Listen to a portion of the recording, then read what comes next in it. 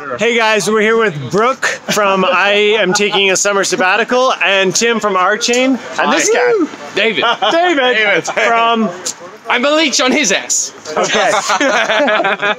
Just there goes Boris. Yep, bye. And tell us about RChain governance. Oh wow! Oh, RChain governance, tough topic. I mean, if you would ask me about like Ethereum governance, I would probably give you a similar answer. Everyone is trying to figure that out, right?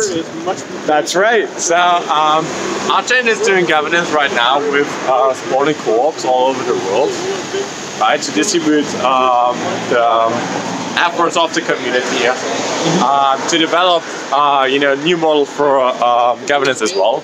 Especially here in Europe, we have a special, like a, a special role in the governance debate, and that special role is indeed that we will focus here in Europe on the governance issues and how we can improve uh, on-chain and off-chain governance principles uh, for the RChain Corporation. What's your favorite thing about the Fellowship of Ethereum Magicians meetup here in Berlin?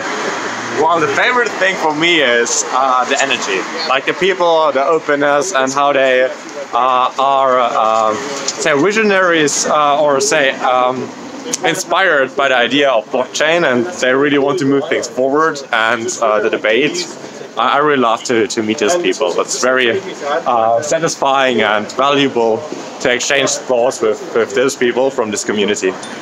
Thanks a lot, Tim Sure. and David.